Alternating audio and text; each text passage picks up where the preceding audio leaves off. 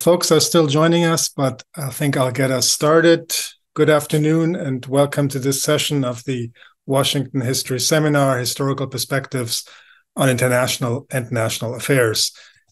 This afternoon, we will focus on a new book by Beth Bailey, An Army Afire How the U.S. Army Confronted Its Racial Crisis in the Vietnam Era. Congratulations, Beth, and welcome to the Washington History Seminar. We're also very fortunate to have with us Gregory Daddis, who will provide initial comments and launch our discussion. A warm welcome to you as well, Gregory. I'm Christian Ostermann. I direct the Wilson Center's History and Public Policy program, and I have the privilege to co-chair the seminar series with Eric Arnesen of the National History Center and George Washington University. Today, Eric will introduce our speakers and moderate the discussion. The Washington History Seminar, as those who tune in regularly know, is a collaborative effort of our two organizations, the National History Center of the American Historical American Historical Association and the Wilson Center's History and Public Policy Program. Over the past decade, the seminar has served as a nonpartisan forum to discuss important new historical publications, and will do so today. Behind the scenes, there are two individuals who helped produce this event Rachel Wheatley for the American Historical Association and Peter Bierstecker for the Wilson Center. Our thanks to both of them. We'd like to acknowledge our supporters and we welcome your support. Details about how to support the seminar are available in the chat right now, or simply go to our institutional websites. Finally, join us next Monday, November 6th, for discussion of the struggle for Iran, oil, autocracy, and the Cold War, 1951 to 1954. Just a quick technical note on the um, on the proceedings here. Um, today's session will be recorded and will soon appear on our respective organizations' websites and YouTube feed. Um, for the Q&A part of the session, there are two ways you can join the conversation. One is to use the raise hand function in the Zoom functionality. Uh, if you'd like to ask a question, once you press the button, you will be entered into a queue. When the moderator, today's case Eric, calls on you, you will receive a prompt that will ask you to unmute your screen. Please press yes, and otherwise we won't be able to hear you. This is our preferred way for you to, to join us, but you can also do so by uh, using the Q&A, uh, posting a comment or question in the Q&A function of Zoom. And with that, I'll turn it over to Eric. Eric, all yours. Thank you, Christian. I am delighted to introduce our author this afternoon, Beth Bailey, who is Foundation Distinguished Professor of History and Director of the Center for Military, War, and Society Studies at the University of Kansas.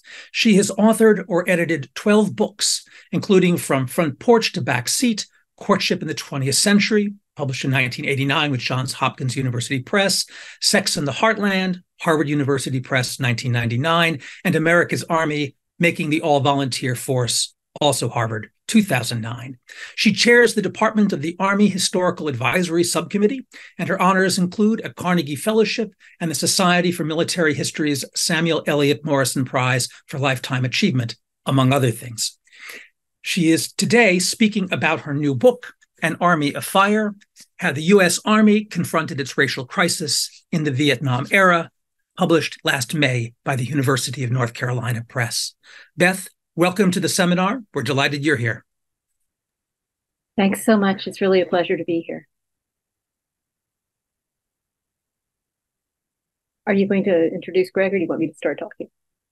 You go first. I'll introduce okay. Greg when we get to him. All right, great. Thanks. Um, so um, just let me start with thanks uh, to you, Eric, and also to Christian, to the AHA, and um, to the Wilson Center. I had a fellowship at the Wilson Center uh, when I was working on America's Army, and it absolutely changed the approach I took to the book. So I'm, I remain incredibly grateful there.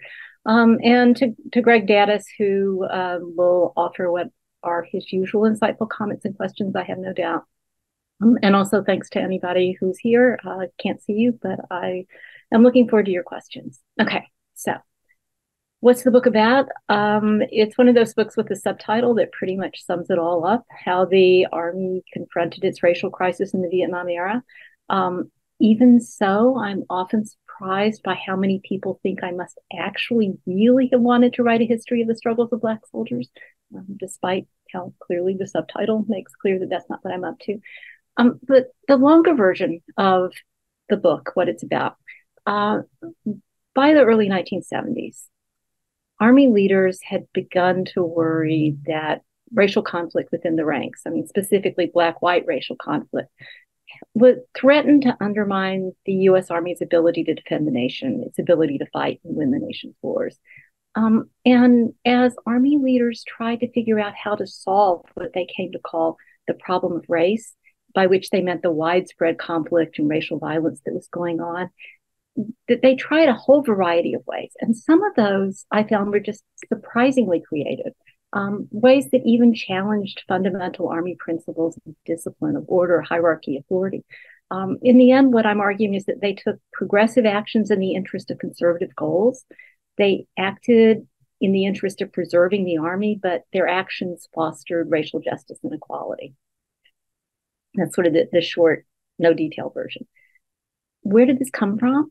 Um, when I was writing America's Army, which was about the making of the all volunteer force, I kept coming across stories and reports and analysis and policy that was about racial conflict and Army concerns about race. And so, in some ways, it's not surprising that I want to follow that up. It was just everywhere, and you know, given given the historiography, given the questions the nation asks today, uh, it seemed important to me. But there's something else that's also at stake here. Um, going all the way back to my dissertation first book about the conventions of courtship and changing natures of authority that I wrote uh, way too close to 40 years ago, um, I, I, tend to ask how social change happens. And I was writing an army afire in the shadow of the murder of George Floyd um, during the Black Lives Matter protest as people were demanding change and and that had me thinking in different ways about that fundamental question how does social change happen? So here in general um, you know i argue as most people would that change comes from the struggles of those who seek change. But in the end, and I don't think anybody much would disagree, that's not sufficient for, for change to make any real difference. It's got to be integrated into a society's culture. Um, and critically, here for me, it has to be implemented through a society's key institutions. So in this book, what I'm doing is working from the claim that the opportunities for change and the, the limits on them are in, in significant and fundamental ways determined by the ways that an institution defines its basic mission purpose, by the regulations and the practices and procedures that govern its actions, by how it understands its own culture and history, and in short, by a sort of institutional logic. So during the Vietnam era, the US Army was a massive and significant institution. More than 9 million Americans served. And they came from a much greater range of American backgrounds and households than they did in the subsequent all volunteer force. So, what I'm arguing here is that this is a significantly important institution and that in this era, the US Army's own institutional logic made the problem of race unavoidable. So, okay, set the scene. By the cusp of the 1970s, the US Army is not only fighting a foreign enemy in Southeast Asia, it's being torn apart within. I mean, hence the title, An Army Afire. Vietnam, August 1968, even as tanks were rolling through the streets of Chicago at the Chicago Democratic National Convention, 200 Black prisoners seized control of the Army jail at Long Binh. These men burned buildings, they attacked guards and fellow prisoners, they left the commander who went in there because he felt like he had created a strong enough relationship with the men who were incarcerated there that he was going to be able to talk to them and stop the violence. They left him with permanent brain damage. Uh, those men beat one white private to death with a shovel and they held that jail for three weeks. In 1970, at Fort Carson, Colorado, a white soldier who, for some reason, was working part time as a filling station attendant killed the head of the Black Studies program at a local university. Okay. And, you know, an incident. But things escalated. 35 MPs ended up facing off against 150 black soldiers who were armed with handguns and a stash of M1 carbines. Dong Tam Base Camp in Vietnam's Mekong Delta had ro- what they called roving gangs of black soldiers who were attacking white soldiers at random. The next year in South Korea, 100 black soldiers attacked a local bar that had shifted its focus from black soldiers to white. These black and white soldiers in conflict carried violence into the property of local Korean civilian business owners, and those Korean residents started fighting back. And then they marched in protest, carrying signs saying, in, in the politer signs, things like go back to cotton fields. It ended up requiring high level diplomacy to resolve this. First Cavalry Division's camp in the Central Highlands, Republic of Vietnam. A first sergeant ordered a black soldier into the field with his platoon, and the soldier refused. He said, You stop effing with us, rabbit. Um, he didn't actually say effing. We are black men and it don't matter. That afternoon, when the troop commander stepped in, that soldier fired an automatic burst from his M16 at close range into the commander's head.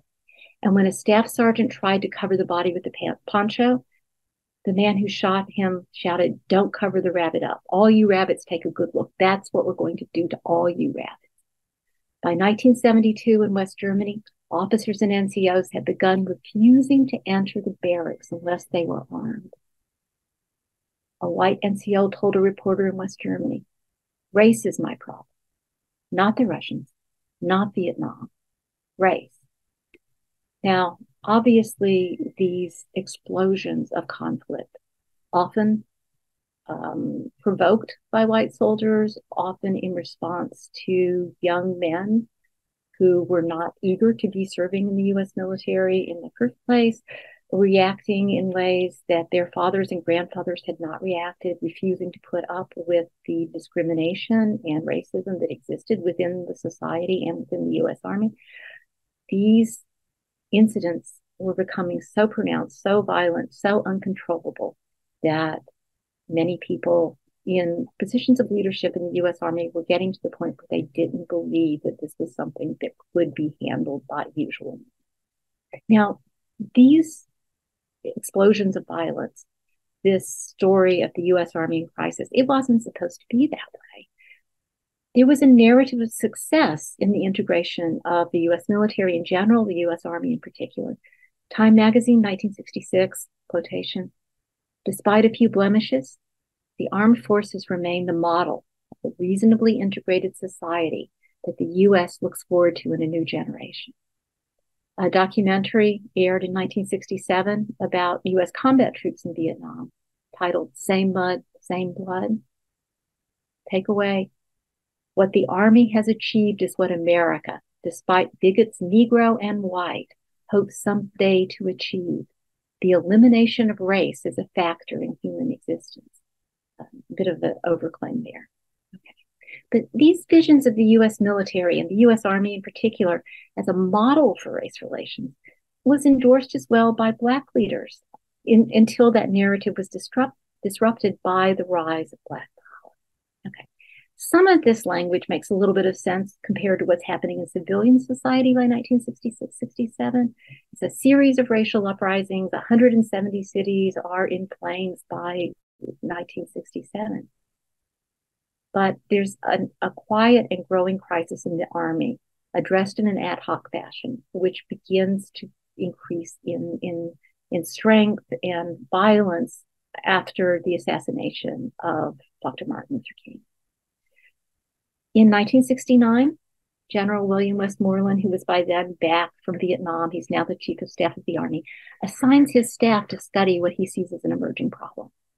Um, and in October 1969, Stanley Resor, the Secretary of the Army, gives his major speech to the Association of the U.S. Army. And he says basically in this speech that the racial crisis is second only to Vietnam in terms of the challenges the Army faced.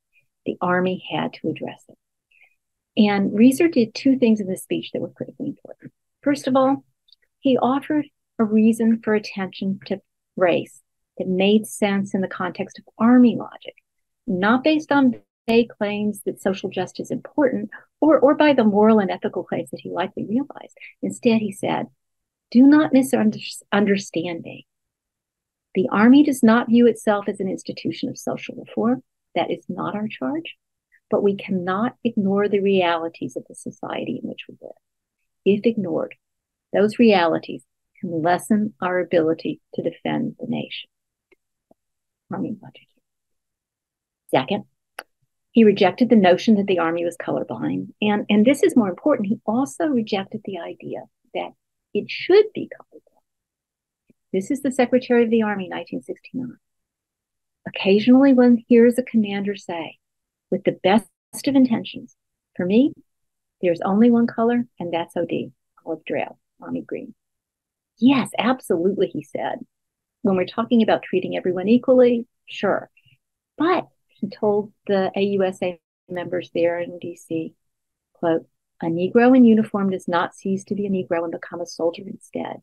He becomes a Negro soldier. And I'll just stop to note that that word is uh, the equivalent of, in terms of being respectful to African American today.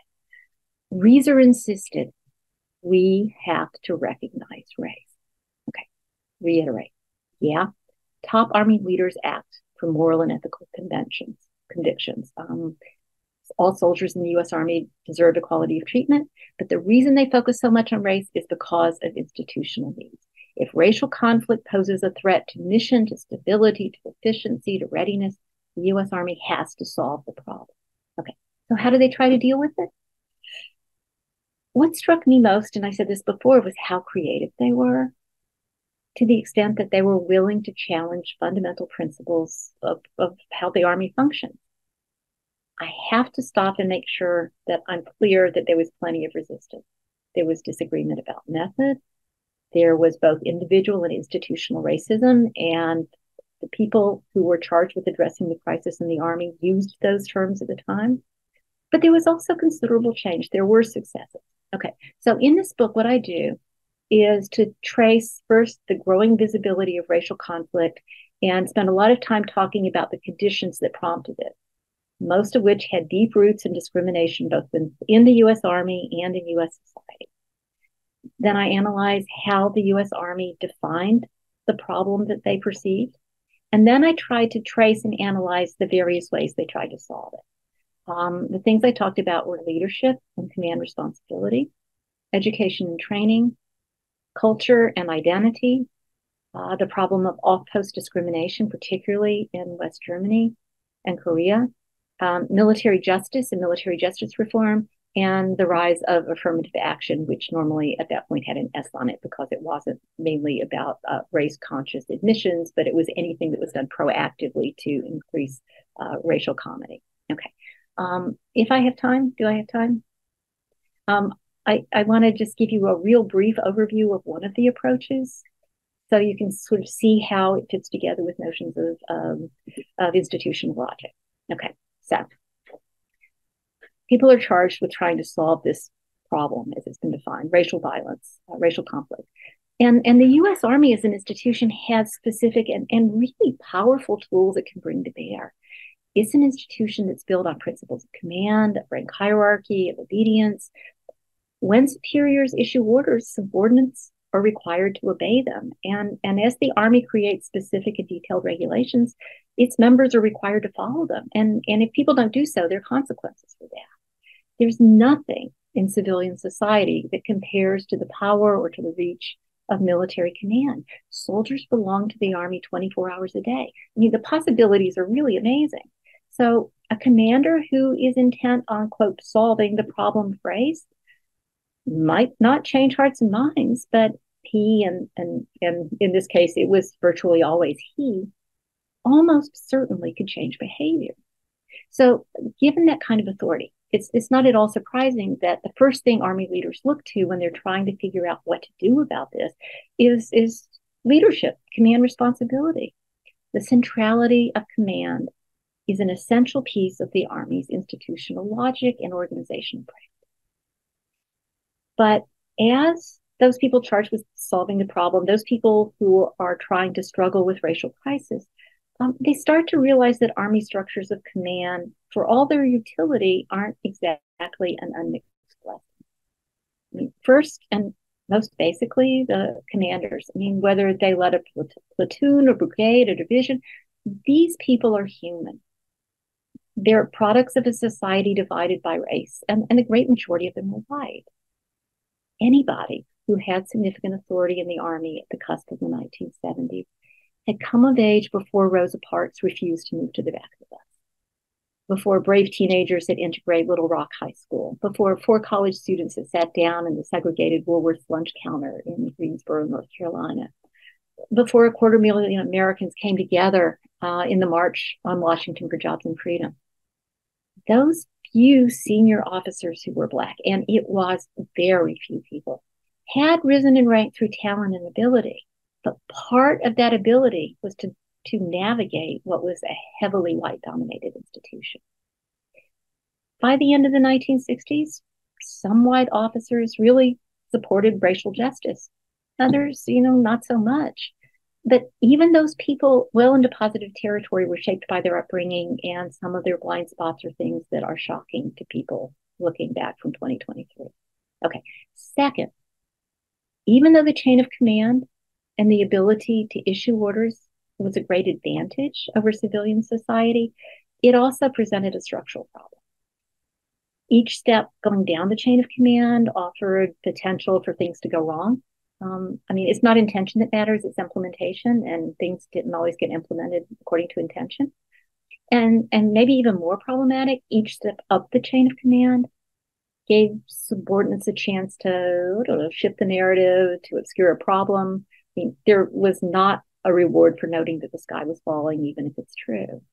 Uh, subordinates often found they had lots of incentive to downplay the negative, sidetrack complaints, minimize crises, just like they had incentive to inflate body count in combat or exaggerate the success of the mission. And significantly, this is the 1970s, um, which, having been a teenager then, I can say it was kind of an odd era. Um, it's important to recognize that broader social understandings shape approaches and goals. And just as uh, young Black soldiers often were drawing upon the understandings and ideals of Black power, uh, Army leaders were often drawing, um, and those people who were charged with this were drawing on the idea of communication being central. And emerging Army wisdom is that the problem of race was really a failure of communication, which is not actually a very good diagnosis. So, what that led to is is senior officials, um, senior officers, two and three star generals, communicating directly, starting the chain of command and going directly to those at the very bottom of the hierarchy to try to improve communication. At Fort Carson, um, members of the Race Relations Council, almost all of them privates, met with the post commander every single day. Now, this is a bit of a problem. Um, NCOs and junior officers found their authority undercut. Um, and on the other side, some of those privates, uh, you know, it's a little bit like children of divorced parents, um, realizing that they can just kind of walk around the people who've been telling them what to do and go to somebody else and get a different and, and superior answer. Um, sometimes let it go to their heads, as it were.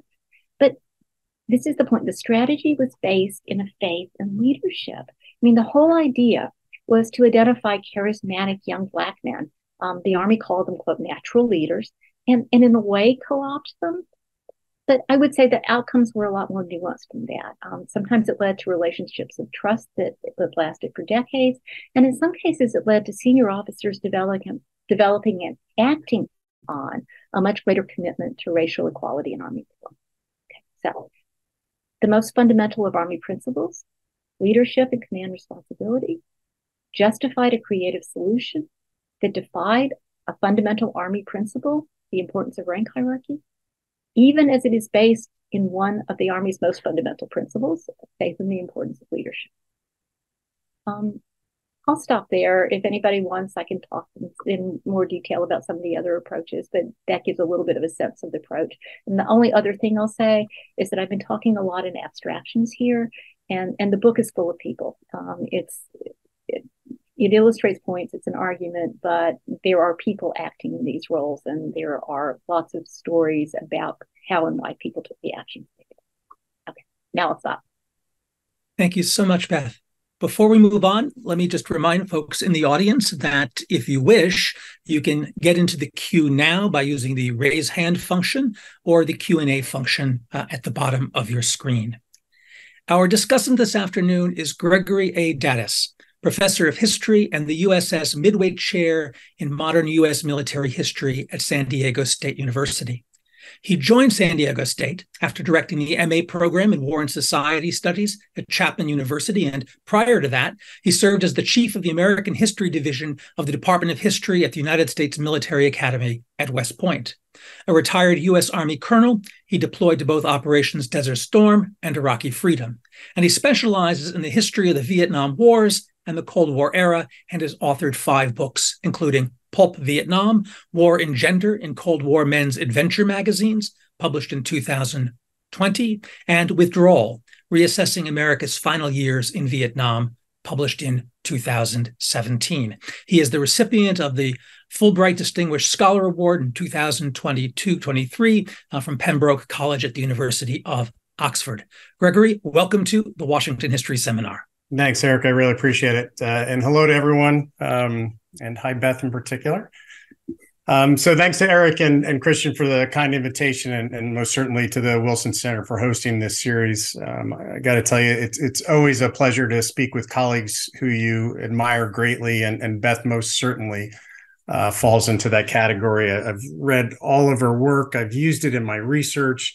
I've taught it in my classes at both undergraduate and graduate levels. So um, this is a, a, real treat for me. Um, so, having said that, I'm going to start with a really, really awful review of Beth's book. So, this bad review was published in, in the American Conservative, and it was really, really bad. Um, like, so bad, it likely wears socks with sandals. Like, like this review was so bad, it watches Steven Seagal movies. It was really, really bad. And what the reviewer was arguing, and, and unfortunately, I think as most of us kind of will find often that reviewers will really in their review speak more about themselves than the, the book that's been being reviewed. What the reviewer was arguing that that uh, an army afire was this warning sign, an example of how this woke liberal army was trying to control Americans during the 1960s by by telling them not only what uniform to wear, but forcing them, teaching them that, that racism was bad. And, and so Beth's book becomes in this review a, a warning sign for today as, as liberals are trying apparently to do the same thing for Americans. So I, I wanted to start there because I'm going to circle back around to that um, because I do think it's an important part of um, not necessarily Beth's argument, but I think an, an understanding of why um, as Beth mentioned, there is some resistance to some of these changes that are um, the Army is seeking in the 60s and 70s.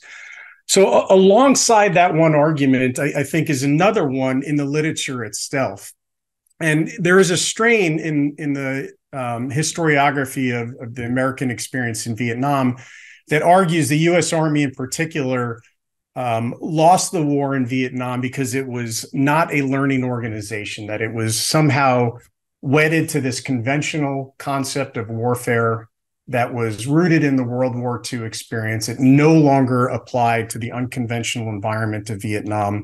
And that was the reason why the Army lost in Vietnam.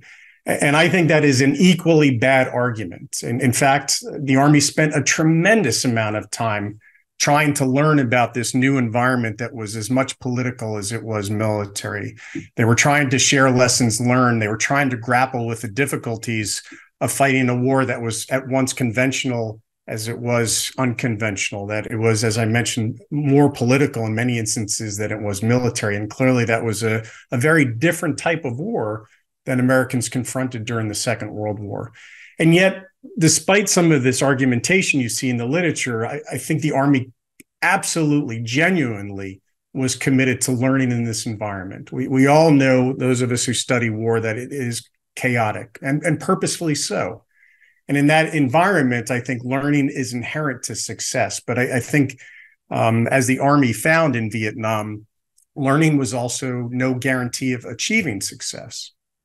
And so I, I, think when you put those two strands together, right, that that that as the army is grappling with its Um, it's problems of race, as Beth mentioned.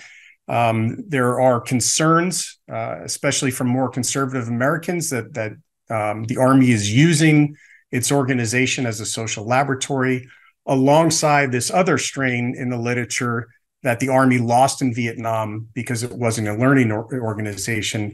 What I found most fascinating about an Army Afire was, and, and I think what Beth does so incredibly well, is share how the Army actually was attempting to learn to, to grapple with these really intricate problems of race.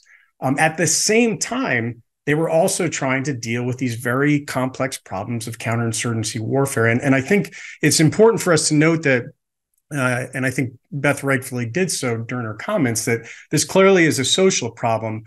But we also need to realize that this is an organization that's trying to deal with some of those social problems as it's fi- trying to fight and withdraw from um, what will likely be its first losing war, uh, most certainly um, in the 20th century. Um, and so to me, I, I, think this is much a story about learning uh, about war in the Vietnam era as it is about race and the larger relationships between war and society in the 1960s and the 1970s. And you know what I think is fascinating here is and Beth mentioned this, that the military leaders were, were seeing these racial problems and, and their attempts to solve them as crucial to defending the nation. And, and, and to me, this is a really, I think, important part of the, the central argument in an army afire is that th- this was really a serious, if not existential problem that military leaders were confronting. They, they saw it as potentially undermining their very ability to achieve the central mission, their central purpose, which was to defend the nation. Um, and again, I, I, find that to be somewhat remarkable as the army is winding down from this this long and, and, and divisive conflict in Southeast Asia. And so, to me, I think there's something we can all learn here about organizational culture um, and how organizational culture, especially in the armed forces, is placed on top of and influences um, larger American culture, and how institutional logic is working with and through, sometimes inhibited by um, that larger American culture as the organization is going through this learning and problem solving process. Um, and again, what I found fascinating here is having been in on both sides of this from from the an army perspective and an academia perspective how hierarchy and authority can both hinder and facilitate change. Um, clearly two very different types of of um, hierarchical approaches to leadership when you compare um, the armed forces to academia. And in, in, many ways i think you see the the competing um, imperatives if you will of leadership of, of both as i mentioned hindering and facilitating change and, and so I, I think there's a larger question for us to be asking here about what inspires not just learning, but but true organizational change. Um, many army leaders saw these racial problems as, as coming from with outside of the organization. You know, my own research, I, I, I saw uh, a number of army leaders complaining about American society as as um, this permissive state that was having an impact on uh, the potential for discipline with um, maintaining discipline within the ranks. Um, but but I think it was something more to that, as Beth mentioned, right? That this is a problem, in her words, that demanded attention, that was inescapable, that pressure was coming from all directions, and and I think that says something um, about what inspires organizational change.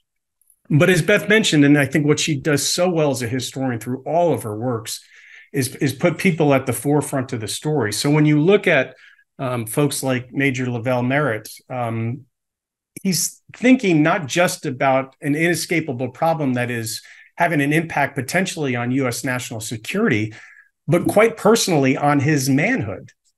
And, and I think that's an, an, another important part here in terms of what's inspiring um, not just learning but change.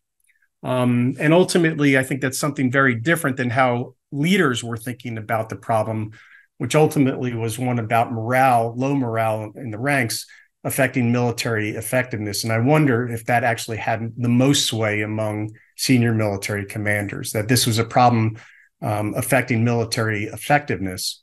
Um, and that's what was inspiring the learning process and change. Alongside of that question of what inspires learning, I, I think, and Beth mentioned this, is, is what inspires resistance. We, we, we see here a, a lack of training and a lack of communication um, inspiring resistance. We see um, in the narrative of, a, of an army afire some directorates purposely trying to bury the question of race, um, which is um, as fascinating as it is frightening. You see leaders who are um, lacking the experience to deal with these expressions of dissatisfaction. Um, I think one of the important points here that in uh, in the book it, that Beth notes is that the grievances are often expressed not with words but through violence something that clearly I think we're all seeing unfold today right in front of us. Um, but there's also something here um, in terms of resp- inspiring resistance that is not just uh, from a racial perspective, but also from a generational one. That there is a generational problem here um, that I think is important and potentially, um, I would I would argue, um, incredibly relevant today as we we see um, debates occur across generational boundaries today over what's acceptable and what's not acceptable. Um, and finally, and I think this is really fascinating, is that that resistance might in fact come from the limits of leadership itself. I think most of us um, and when I say us, I, I would probably, I, I guess I'm going to generalize here purposely, say most Americans are comfortable in arguing that good leadership can solve just about any problem. Um, but as Beth suggested, it's far more complicated than that. Um, that these race relation councils that were being led by lower ranking enlisted members, they were threatening to commanders that when when a, a, private or a young specialist is getting more face time with a division commander than a battalion or brigade commander, that in fact can be threatening. And so we, we might extrapolate that argument. And again, I know we need to be careful here in making generalizations, but but question our faith in, in kind of savior generals turning around stalemated, even losing wars simply by the process of their superb leadership. There are, in fact, limits to leadership, and we need to be okay um, with that proposition. Um, I, I, think there's also something deeper here to circle back around to where I started um, and why I did uh, about the Army being this laboratory for social experimentation, um, because it's a warning, um, usually from the right, that, that does persist today. Um, we saw it in debates over homosexuality and don't ask, don't tell in the 1980s and 1990s we saw it as women began to serve more and more in traditionally male dominated roles within the armed forces, especially combat roles.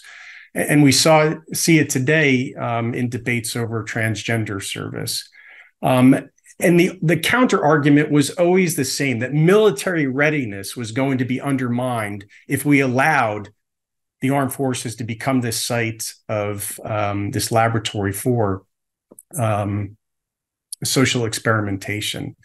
And, and I think we should probably ask why that is such a popular argument. Why is it that standards of morale and discipline and unit cohesion being undermined as a form of resisting social change with the army um, are so powerful? It almost becomes a, a kind of trump card, if you will, um, to to contest these um, um these social changes that are occurring within the military. And, and the last point I'll make here, and I think um, how I think Beth's work fits within the larger literature is one of the books I have my students read in our War and Society courses, William Taylor's Military Service in American Diplomacy, uh, D- Democracy. And in it, he argues that the, the military, when you look back over the course of the 20th century, oftentimes was a litmus test of American values and served as the nation's conscience. And and as I was reading in an Army Afire, I, I wondered about that. That Taylor suggests that there is symbolic power in military service, and in, some ways, I think he's right. Um, as the military is kind of working through, becomes this contested area to grapple with these larger values of of being in a democracy. and, and I wonder, and perhaps Beth, we can start here as as uh, as a kind of conversation of of whether you saw that in your own work. Um, was this debate over um, over the race problem um, wrapped into this larger argument that the that the military was this litmus test for American values? Um, because in many ways, and Beth mentioned this, I do think that uh, organizational change in the armed forces can have national ramifications. And I think that's why you see, um, if we go back to our critic from the American Conservative, being so concerned about the Army being a, a model for others to fi- follow, because social change, according to some at least, can be dangerous. And so I, think what Beth ultimately shows us here is an organization at war. And again, we can't forget that, that the war was still raging while uh, the individuals were in this organization were dealing with this problem of race. We're identifying a problem that, that ostensibly was affecting military performance, and we're trying their, their level best to rectify it. And, and not all were on board, and some resisted, and, and at the same time, others were willing to lead, and others um, saw education as keys. Others thought it was taking attention away from core training requirements, and and many others just weren't sure what to do. And it was complicated like all history is. And, and i think that's what's such a uh, phenomenal um, uh, part of, of reading this book and, and why I'm, um, so glad to be part of this conversation. So i'll turn it over to you all and thanks so much for the opportunity to, to be a part of this thank you beth any thoughts on what we've just heard um, well i mean just mainly thank you greg that's um, as I expected, insightful, and it's giving me things to think about. Um, and I mean, just going back to one of your questions, um, you know, what inspires not just learning but organizational change? It, it sounds like the most boring pitch for a book ever, but the biggest organizational change I found was bureaucracy. I mean, the, the way that the Army really institutionalized change was by bureaucratizing the question of race.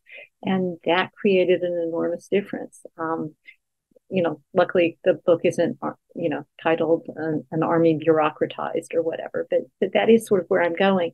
Um, and, and then litmus test for American democracy. Um, I think that, I mean, that's where to some extent the uh, reactions came from is that ongoing belief in the United States that male citizenship is linked to the obligations and and and the and responsibilities, but also to the rewards of citizenship. And you know, a whole long list of people, especially African Americans throughout US history, especially 20th century, coming back from war and saying, I have fulfilled my obligations. I deserve, you know, I, I deserve the full rights of citizenship. Vietnam, all that started to pull against each other. Um, but there was still the sense that military service was this form in which these are contested. But perhaps even more importantly, what was going on is that the army or the military in general is a very efficient place to target because the changes can be implemented in ways that are much more direct and reach a much larger number of people than trying to say corporations should think about something in this fashion or universities should think about something in this fashion. And so there were a lot of external forces, and you know, including the NAACP, um, the the Black Congressional Caucus. Um, lots of people were pushing for change and seeing the military as the most efficient place to do so. A lot of it was coming out of the Department of Defense. I mean, surprisingly enough, perhaps Richard Nixon's um, Secretary of Defense was was all in, and McNamara was was a profound advocate for changes in, in race relations in the United States.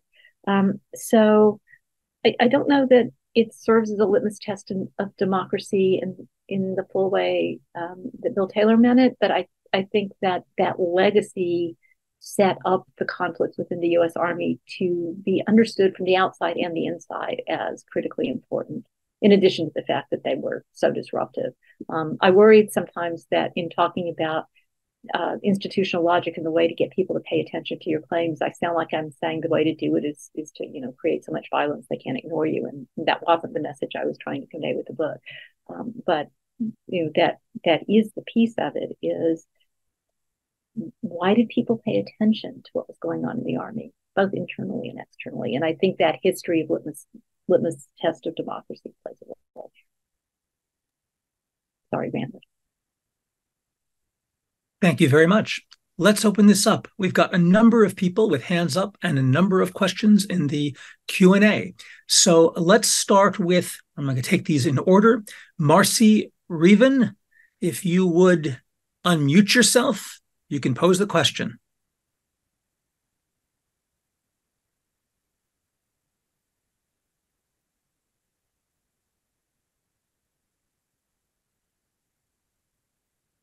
I take it you're looking to unmute.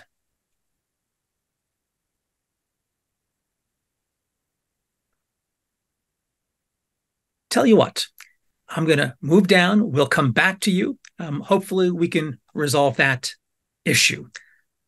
Thomas Schwartz, Tom, join us, please.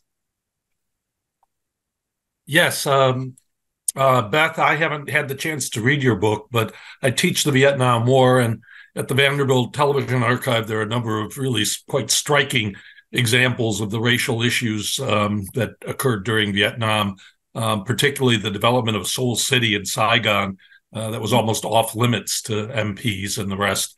But I'm I'm curious as to what the relationship you see between the adoption of the volunteer army and the army's ability to deal with the racial question. Uh, what in in I, I, realize you're the expert in this. Um, do you see them as interconnected um, in terms of the army's success? Did moving to a volunteer army make it uh, more more likely that the army could uh, deal with its racial issues? Um, the counterfactual question: If conscription had remained, would it have been just as difficult? Would it have been more difficult for the army to solve its problem?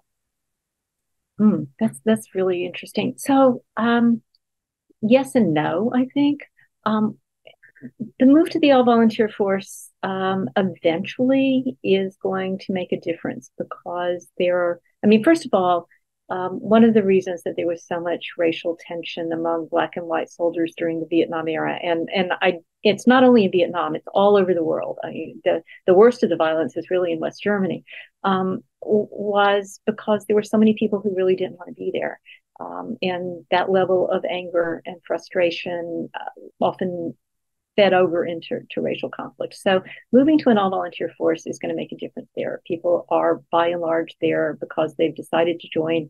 And even if they hate it, they're the ones who joined.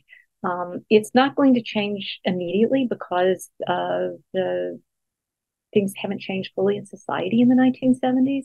But as the uh, extreme racial tensions that characterized the late 60s through the sort of early 1970s begin to fade, people were coming into the US military without those sets of understandings.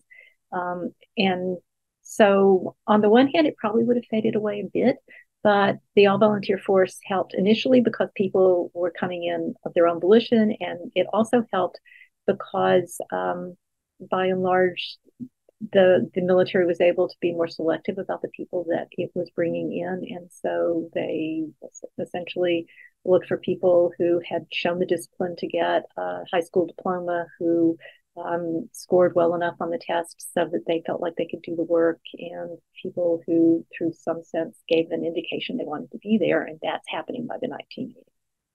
So, yes and no. Historian's answer. Good, good. Charles Bowery, your hand is up. Unmute. Join the discussion.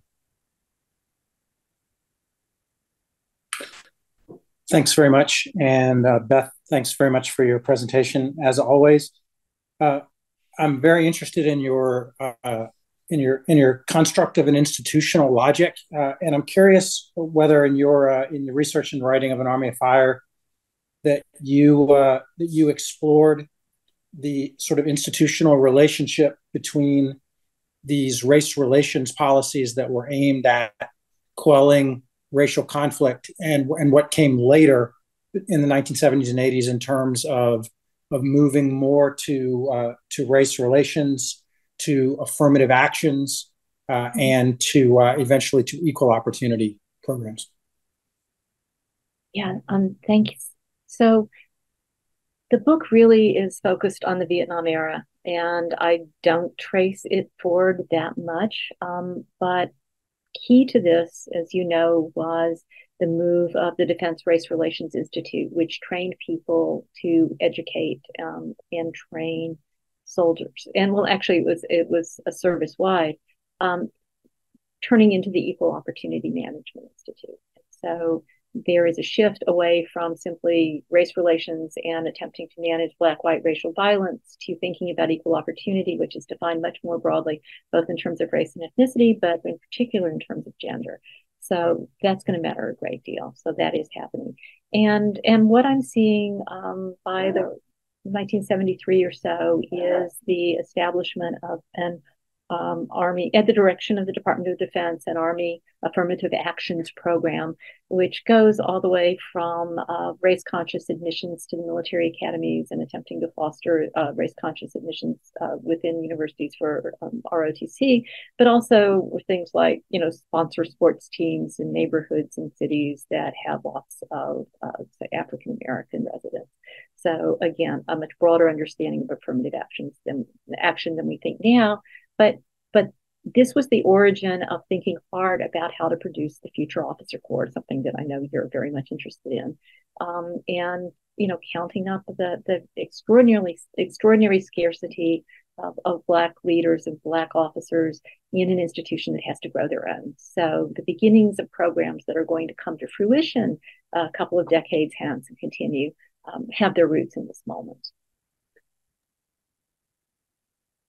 Carol McKibben, your hand is up. Please unmute. Unmute. Okay. Um, hi, Beth. Uh, somehow I'm not showing. Can you hear me? We can hear you. We cannot see you, but we're not supposed to see you. Oh, okay. Well, just your voice. I'm sorry that I put makeup on then. Um, so I wrote about Fort Ord and its relationship to the adjacent community of Seaside. And I wonder, and one of the surprising things I found when I did that research, it was called, it, the book was called Racial Beachhead. Um, I used your work heavily, Beth. I relied on it enormously. Um, was I what I was very surprised to see the positives there, especially among African American women who mm-hmm. were spouses of uh, uh, high ranking officers and other personnel. And uh, oh, and um, I'm wondering if you could speak to that a little bit because I was really expecting to find a lot of negativity about race. But what I found was that this was a place in Fort Ord and Seaside that offered both uh, socioeconomic mobility to African Americans at mid century and uh, it also offered more than that for their spouses and families to become active civil rights uh, actors when the they were they were in other words protected by the military for doing so. So i'm wondering if you could complicate the uh, analysis of race to include that kind of part of it. Uh, i know this is coming out kind of awkwardly but no no not a bit. And uh, you know so one of the things that I think is so interesting, and you know, your work and, and others, is the ways in which the military and the federal government acted as a limited guarantor of at least the ability to speak and a, a, grantor of a kind of alternate status for people of color um, who could claim that identity. Um, and how much it varied by where you are. Um, you know, the period that I'm writing about is is a period that was highly racially uh, explosive in most of American society. But you know, think about 1968. That Jim Crow is not illegal for that long by that point, and so and many of the the bases and posts that were created for for training, the ones that most soldiers are going to go through, and Fort, Fort Ord is important, but you know they're going to go for basic training down in, in the deep south where is you know not only is the, the, the practice of discrimination and segregation um, alive, but until very recently it had been legal. So you know, I, I think it matters enormously where one is. And I mean, it's, uh, Greg made a very good point about leadership isn't going to solve everything. But I do think that one of the lessons that I come away from this, and that doesn't in, in any way contradict what he said, is that individuals matter and communities matter. And so when people are able to take where they are and create um, a, a, an atmosphere that allows for change, that allows for engagement, that that can continue. That can make an enormous difference. So I'm I'm really aware that of trying not to treat the U.S. Army, even though I'm writing about the U.S. Army as an institution, trying not to treat it as this sort of faceless monolithic block. I mean, the U.S. Army can't talk, um, right? It's people within the army are are functioning in different ways, and you know, I think that your work is an, an enormously important explanation of the ways in which it, it wasn't just a story of, of negative results and and military status could make a difference in positioning people to to campaign for for racial justice and equal rights. I mean, I hope that it goes toward answering your question. So let me pick up on a theme um, that you mentioned. You were talking about uh, bases in the South uh, and the communities into which these soldiers find themselves. Um, some who have never experienced this level of intense community racism uh, before. And I'm thinking uh, back to uh, my colleague Thomas Guglielmo's work uh, about the Second World War. Um, and then the military officials couldn't care less, you know, where people are based. It's like you go there and you will put up with and deal with um, whatever it is that you have to deal with. But this is several decades later. Um, and since Truman's efforts to begin desegregating uh, the armed forces, it just strikes me that there's a belated recognition that sending people to the deep south um, in a period in which a Jim Crow is still intact, and then it's being dismantled by civil rights laws, but these white communities are the, in no way welcoming and quite quite hostile. Uh, and so I realize that, as you point out, that racism exists everywhere in the United States, but it's kind of more intense in some communities than it is in others. And so, could you talk about the realization uh, on the part of military officials about sending Black soldiers uh, into communities that are going to hate them, humiliate them, subject them to all sorts of forms of, of degradation. Uh, and, and you do show this in the book, what they begin to do about it. So why what I call the kind of belated recognition and then what they do to at least attempt to address this issue. Now, that's one of the really difficult um, that was one of the really difficult chapters because it, it is obvious how much it made a difference that a black service member stepping off post he or she entered a different world um, he or she was subject to the legal and, and cultural understandings over which the military command had no control and and that's where it gets complicated because I mean there's a reason that military commanders don't have control over the civilian populations uh, adjoining the post. But at the same time, what does it mean for for their soldier to be treated as a second class citizen, to be subject to discrimination? Um, the commander of a post needs to keep on good terms with the people in the surrounding communities for all sorts of reasons. But what does it mean when their soldiers are going to be treated as second class citizens? What can they do? How should they behave? And it led to some of the most fascinating back and forth that I found in my research, trying to figure out how to do this. Uh, there was a lot of sort of moral suasion talk, a lot of of you know we're, we're going to have dinners with real real estate brokers and and the mayor and try to you know just sort of gently make, make them understand how important it is. But we can't exercise authority. It became even more complicated in places like west germany where there was an extraordinary level of discrimination against black service members.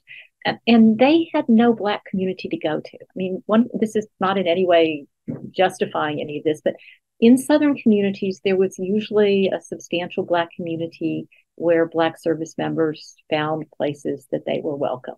Um, they should not have had to seek other places to be welcome. They should have been, you know, had equal access to everything. But in places like West Germany, there was no such community. There might have been a strip of bars that were, you know, labeled for for black soldiers, but it's not the same thing. And and so it turned into, you know, massive diplomatic uh, negotiations between the two countries, trying to figure out how to handle these problems. Um, it was one of the knottiest issues that they existed because the military, while it's a separate institution, is not fully separate from the society that it serves. Thank you. Uh, Amit Ahuja, if you would unmute, pose a question.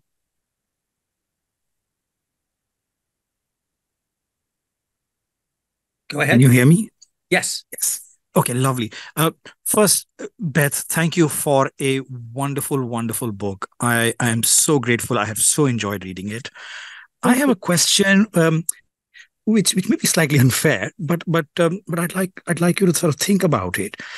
Uh, you know, you talk so much about the lessons that the military, especially the army, learns as it grapples with the racial crisis during Vietnam given this experience, um, you know, uh, why, you know, how how has this kind of learning experience or this the, the approaches that came out of this experience, how did they influence our approach in building new armies where we were grappling with similar ethnic differences in Afghanistan and Iraq? And because you know those experiences have not gone that well, so just you know you know, I wonder if you have any reflections on that.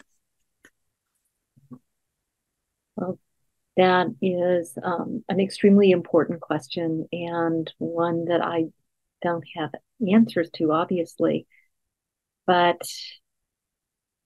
my my sense as a historian is that things are so culturally specific that the approaches that were tried in the 1970s in the U.S. Army probably don't even translate that well to the army of the 21st century.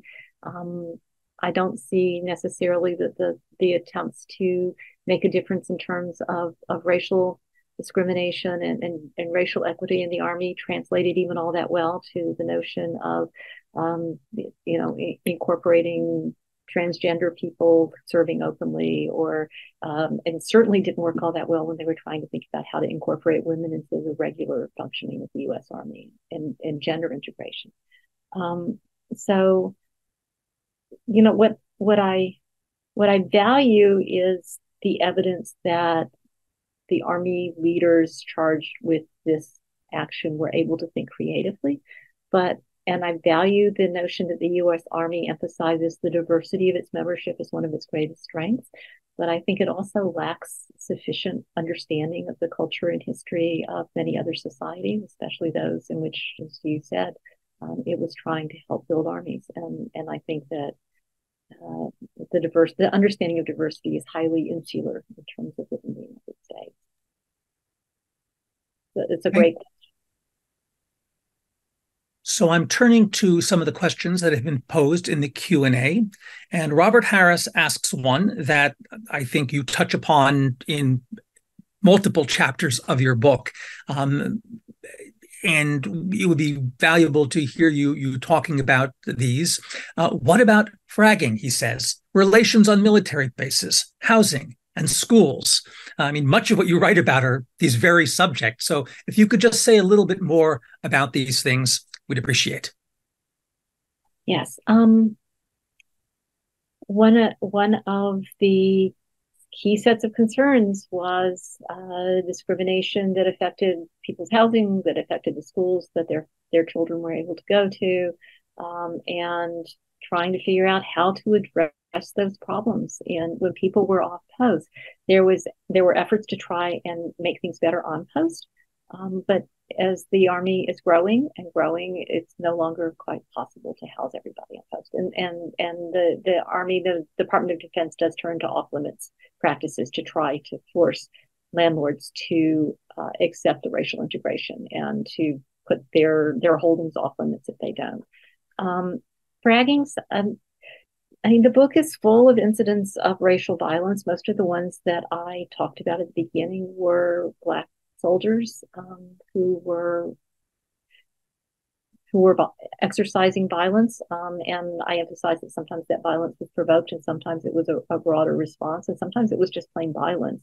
Um, fraggings were a concern. Uh, they grew enormously, but you know, it was all part of a larger pattern of indiscipline within the army that was by no means restricted to racial conflict between black and white soldiers. Um, you know, some fraggings were certainly race motivated, but an awful lot of them were just against officers who were attempting to make their soldiers do things that they saw as threatening to their their their lives um, or uh, otherwise. So, you know, the, the, the theme of violence and the theme of discrimination and limited opportunities runs through all of the chapters, and each chapter sort of takes those as a starting point and then looks at the attempted solutions the Army does. Thank you. We have a number of questions that speak to related themes, so I'm going to combine several. Um, Robert Jefferson writes Professor Bailey, thank you for your fascinating discussion and such a wonderful book. As someone who has studied these issues for some time, I wonder about how the U.S. Army's efforts to effect change in race relations in the ranks uh, was seen abroad. So it's a two part question he asks. First, how were the U.S. Army's efforts to effect changes in race relations viewed by its allies and adversaries abroad in the 1970s? And second, to what degree was American senior military leadership conscious of how these changes were being perceived at this time?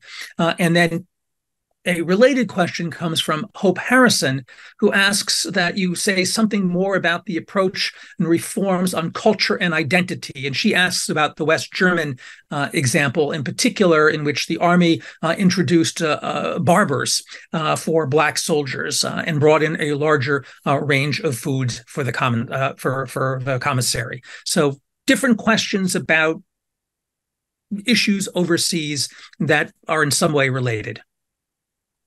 Right. And so, I mean, Professor Jefferson, um, you know, an enormous amount more than I do about this topic.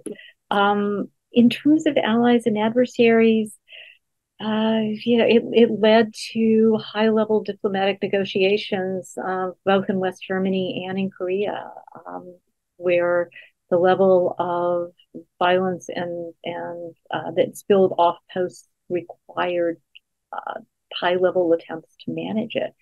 Um, in terms of thinking of it ter- uh, as uh, the army attempting to ameliorate race relations, um, I haven't found anything in particular about that. That doesn't mean that it doesn't exist, but it's not something that I came across. Um, and in terms of uh, like the identity, it, it seems strange in the midst of the U.S. war in Vietnam, in the midst of the turmoil, uh, the Cold War turmoil in, in West Germany, et cetera, that so many young men cared so enormously about expressions of identity. But it was an era of, uh, of cultural nationalism. It was an era in which people, especially young Black men, wanted to make clear that it's clear their identity and not to subsume that identity in the soldier. But part of what happened is when I was talking about Secretary Resor's claims, uh, which actually came from um, a, a, a, black lieutenant colonel who was the head of the committee that, that wrote the report he was basing this on. Thinking about the, the notion of being colorblind, of seeing only one color, it became really clear that being colorblind defaulted white. So the the the term for the standard army haircut was white wall, which you know gives you some sense for what they were thinking. Um, uh, black soldiers had to pay more for getting their hair cut because it was considered a specialty cut. I mean, uh, PXs didn't carry the kinds. I mean, not only music and, and magazines and such, but even the, the personal care products that um, African Americans commonly bought. So so that recognition of identity was something that the PX in part uh, tried to claim responsibility for and, and made a huge difference. It's the fourth largest retail institution in the world. And it starts buying uh, all of these products produced by Black companies, keeping them in stock. Um, you know, it, it changed to some extent the landscape of, of Black entrepreneurship, but it also changed the opportunities that were available to young Black men and, and women. Um, where the army started to draw the line was, uh, you know, expressions of identity that you know, were wearing things that um, were not approved for wear with the, with the uniform or Black Power salutes instead of the traditional salute or dapping for a long time. You know, they experimented with allowing that, but once they started to say that one culture was okay, then you get like white Southerners saying, "Well, I want to observe my culture too," and the most important thing of my culture is the Confederate battle flag, and that didn't exactly improve race relations. So put put a lid on that. So Hope Harrison has a follow up, but now her hand is up. So all she has to do is unmute. Okay, thank you. Thank you so much for a fascinating talk.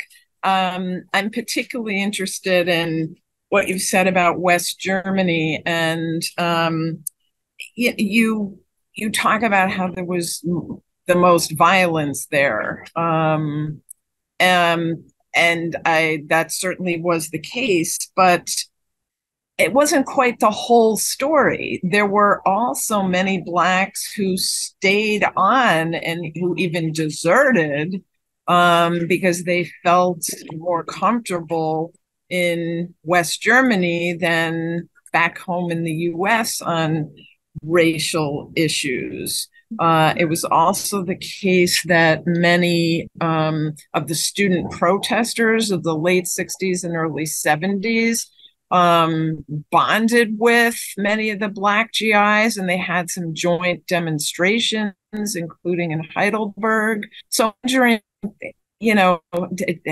do you write about these things? Um, I, I do write about those things, but I'm sorry. When I said violence, I meant within the military itself.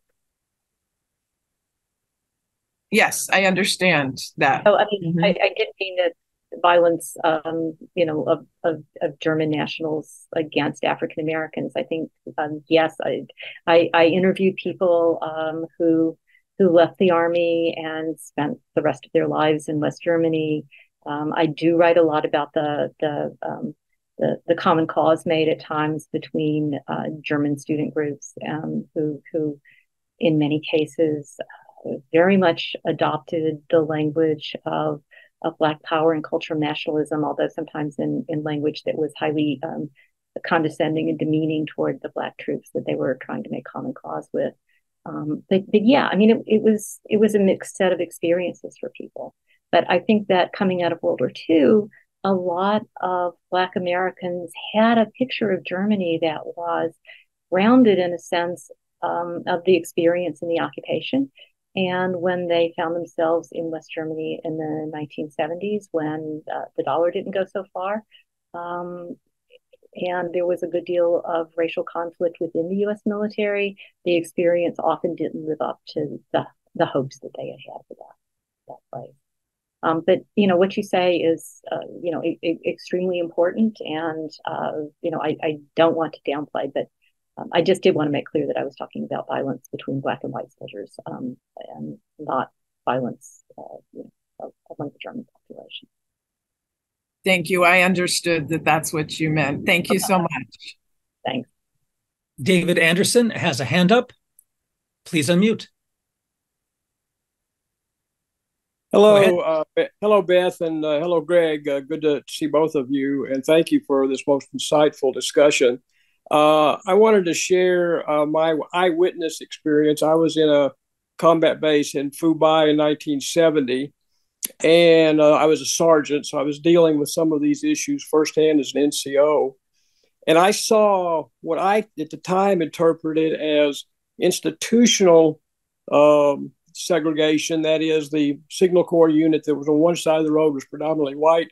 The infantry unit on the other side of the road was predominantly black they shared a common mess hall. The troops got along, but there was segregation, uh, spontaneous segregation in the mess hall. Blacks eating with blacks, whites eating with whites, and I interpreted that as a reflection of society. Uh, and the dealt, problems I dealt with were more two things: drugs and the fact that most of the soldiers were by that time becoming very critical of the war. The, the, the young men in the in the ranks. So the issue of conflating race and drugs and uh, youthful rebellion, all of those things must be an incredibly complicated issue for you to to unravel. And uh, Beth, I really appreciate what what you've done, and I. am wondering about um, the degree to which these other factors like drugs and simply uh, youthful rebellion factor into to this uh, your conclusions. Yeah, thank you. Um, it bedeviled those people who were so because there was so much racial conflict um, at various level units were charged with keeping records of racial conflict and racial violence. And people kept asking well how are we supposed to tell? I mean, you know if a black and a white soldier gets in a fist fight is it racial? Or you know is it just like you know somebody you know stumbled and knocked somebody over or somebody doesn't like someone?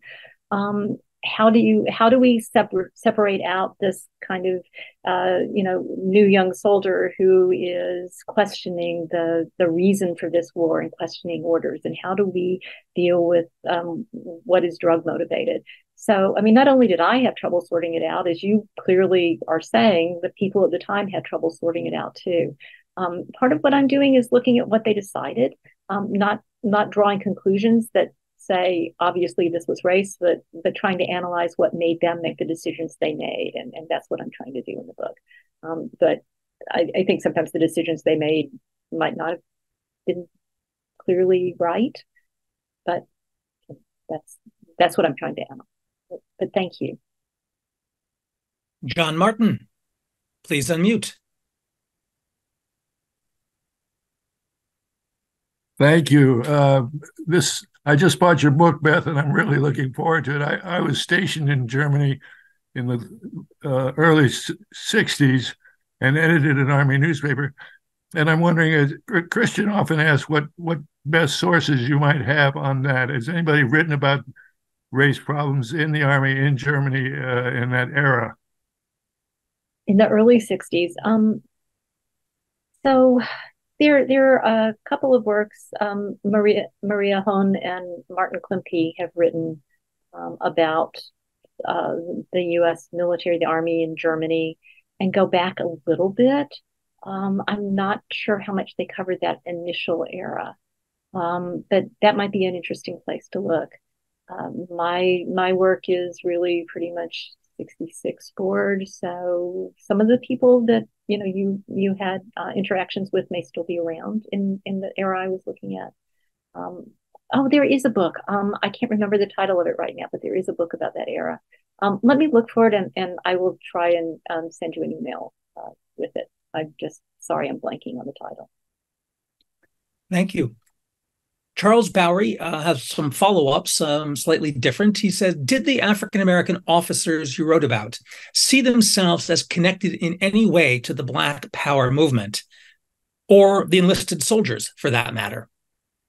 Yeah. Um, so, one of the things that um, Greg pointed out was the generational divide. And yeah, that becomes critically important here. Um, often, Black officers, especially as they moved up the ranks, didn't didn't have a lot of sympathy for the claims of young black enlisted men. Um, they didn't have a lot of sympathy with uh, worldview they were promoting, which is not to say that many of them didn't, um, you know, it's not to say that they weren't concerned about the existence of discrimination um, and the limited opportunities that African Americans had had in the military, especially given the uh, ways in which promotions fell off so dramatically for Black men as they moved up the ranks. Um, but you know, it was a question of of method and style, and it was a question of officer versus enlisted. So. Um, I haven't found a lot of uh, officers who are embracing ideas of Black power.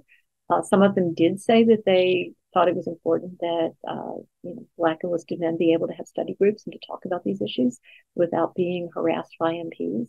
But by and large, um, I mean, I, I find uh, circumstances all too frequently in which you know there's a black and a white commander, uh, you know, the same the, the same post, and the the African American officer is much less willing to give leeway to the black enlisted folk than the for reasons that are obviously complicated. Catherine Stock poses this question In Bring the War Home, Kathleen Belew argues that the white power movement grew in part from anger and disaffection of some white veterans that they felt uh, at the end of the Vietnam War when, as they saw it, Asian people and countries humiliated white Americans. Do you think that the efforts to improve race relations in the military may have also played a part in the rise of the white nationalist movements that she studies? This is a bit beyond what you do in the book, but you know the subject. Mean, it's it's quite a different argument than I make. Um, she's she's looking at, at at something quite different. What I, I will say is that some of the techniques that were embraced by those people who were trying to address the racial crisis probably exacerbated racial conflict. Um, in efforts to deal with the racial crisis through education and training, there was a very reasonable uh, understanding that everybody should understand the history of African American experiences in the United States and the fundamental fact of slavery and continued legal and, and cultural discrimination. Um, but it being the 1970s uh, and them thinking creatively, they tended to embrace sensitivity training and T groups. Um, which can be catastrophic when led by people without enough experience.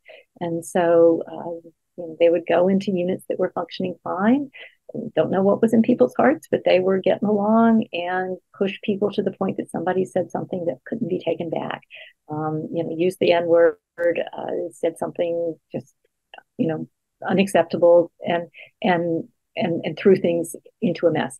Um, so, and and some, I'm sure that there are some white soldiers who found themselves in situations in which there were black enlisted men who were sort of randomly attacking white enlisted men, which did happen, um, who who came away with you know not a greater understanding of the larger circumstances in which these men functioned, but uh, an anger that could lead to embracing ideas of white nationalism. I never saw any direct evidence of that, um, but I was looking at the Army's control and the Army's responses, and so um, you know that would be an interesting question to ask her. She may have seen such Although I imagine if she had really seen that, it would have been more in the book. So, so this touches on something that I was thinking about in in reading the book, and that is, there any of us, you know, who work at universities, and you make a point in your acknowledgments that one of your colleagues made it very clear that the military and universities are not alike, but we get subjected to all sorts of training videos, you know, by our human relations department telling us how to behave on this and that. And I don't know many people, at least in the academy, that wouldn't roll their eyes or think like, seriously, um, this is what HR departments do. But going back into the late 60s and 70s with these training programs, was there vigorous debate or pushback about technique, about content, uh, about what this sort of small group or large group educational programming um, is it effective? Is it not effective? Um, um, one one quick point. It, it, wasn't a colleague of mine who said that. It was um, a veteran who had been a alert in vietnam um, and his it was a little bit less gentle than the way you um, it. i was being um, careful. you were you were. Uh, so yeah there was pushback um, I mean, there was pushback in that the Defense Race Relations Institute just stopped doing it after a while. But a lot of the pushback came from Congress.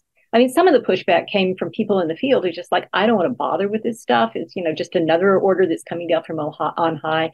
I don't need to waste our time with this. I'm not going to do it. Or for, from, you know, uh, enlisted men, black, white, and, and other races and ethnicities who just, you know, saw this as a, a waste of time. But Congress got very conservative members of Congress got very exercised about this. And um, it, it, much of it sounds like what we hear today in terms of the woke military. You could practically just, you know, put different people's names on the comments and you wouldn't look twice. Um, and that did have an impact on the change in the ways in which the Defense Race Relations Institute approves training. So, so yeah, there was a lot of pushback, and and there probably should have been pushback because you know that approach that that insistence in you know baring one's soul and coming face to face with one's own race racism and at that point they assumed that black people were equally racist. Um, you know, it, it, it takes a lot more training than the people who were often trying to do this in the field had, and it, it could be a mess, and it often was you do point out, and I think this is a very interesting, you know, point that that the Senate Armed Services Committee, on that committee sat many extremely senior white segregationists, you know, men who had for years, in some cases decades, uh, filibustered civil rights legislation and then voted against that civil rights legislation, and then attempted to stymie the Army's efforts, you know, at at reform. Um, but on the issue of the different service branches, uh, Alan Gross writes, we're able to distinguish the quality of race relations work by military service, that is, Navy, Air Force, and Marine Corps, as well as the Army, even though the book is about mm-hmm. the Army. Yeah. Um, and I mean, some people have said, well, why didn't you write about the other services? And I mean, part of my answer is because I'm trying to look at institutional culture and logic, and there's no way, you know, somebody's going to confuse the function of the Marine Corps and the function of the Army. Um, a lot of the documents that I found, especially coming from the Department of Defense, posed issues and then asked the, the heads of the different services to respond to them. And um, the responses were enlightening, if, if not um, striking, but often confirmed what you might think. Um, the Air Force tended to sort of shrug and say, yeah, we're already doing that. Um, the Army tended to offer long, complicated non-concurs. Um, and it, it, sort of fell out across that that spectrum. Um, but the Defense Race Relations Institute was a Defense Department of Defense initiative, and so people were being trained from all the different institutions, the different services there. So they were getting common training. Um, a lot of it really depended on you know local command and how how willing and interested the the commanders were in addressing these issues, how much time they were willing to give it in, in their complicated schedules. Um, individuals did matter, um, but I, I, haven't I haven't looked at a, a, fully comparative set of implementation in terms of the different services, just at their responses to the commands to the directives that were coming from the Department of Defense. Thank you. Um, our time is running out, but I wanted to ask you just to perhaps wrap up with there's an anecdote at the toward the end of the book that I found just kind of somewhat stunning. Um, and so, for all of the efforts uh, that the Army has been undertaking uh, up to this point, Richard Nixon decides that West Point should build a monument to the soldiers uh, who fought for the lost cause, um, uh, West Pointers who lost their lives serving on the Southern side. Uh, and so this is 1971. It's before the election, uh, but after many of the efforts, or at the same time, many of the efforts that you're talking about have been taking place. Could you just tell us a little bit more about what happened there and how it resolved? Well, first, let me just start by saying Ty Seidule has done some really um, important work on this, and so you know, part of what I've done is is primary source research, but I'm also relying heavily on him. Um, yeah, Richard Nixon came up there. Uh, he was trying to consolidate uh, his political advantage in the South, and he thought a great way to do it would be to have this massive monument to those who had served um, for the Confederacy. And when the commandant of, of, West Point tried to manage it by saying, yeah, we'll do it in a museum exhibit, um, he wasn't having any of it. Um, it was also a non funded mandate. Um, and West Point had started working really hard to increase the number of its Black uh, cadets. Uh, in after 166 years in 1968, there had been, I think, 60. Uh, well, was a it was only a handful. It was like 60 black cadets who had been graduated from West Point. Um, in the 1950s, counting all four classes, there were usually about 20.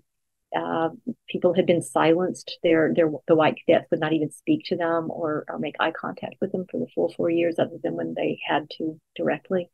Um, and and so they had worked hard to bring in a, a pretty uh, strong cohort of black cadets, and and they heard about this, and a, a really smart uh, way of creating a situation in which it could not move forward, in part by getting uh, a reporter from Ebony magazine to write a profile profile of them and making clear that they were going to be able to create massive protest uh, at West Point if this went forward. And um, in some ways, it's a, a, testimony to the commandant who had faith in these cadets and was working to try and make sure this wasn't happening. But you know, it's quite a testimony to a bunch of 18 to 22 year olds that they had that kind of savvy and that kind of will um, to to create a set of, of demands and to to contact the media in a way that was not overt and direct, but was clearly going to uh, stop something that would have been just an egregious act in, in terms of uh, recognizing the the contributions of African Americans to this nation. Thanks. I unfortunately have to draw this to a close. It's 5:30, so my appreciation to Beth, to Gregory, to Christian, to those of you in the audience who posed questions. Uh, with that, I turn it back to Christian for final words. Sir. Thank you. Uh, great discussion. Thank you, Beth. Thank you, Greg and Eric. Um, just a reminder uh, next Monday, November 6th, we're uh, featuring a discussion of a new book, uh, The Struggle for Iran Oil, Autocracy, and the Cold War, 1951 to 54. Please join us for that. Otherwise, please stay safe and uh, good night.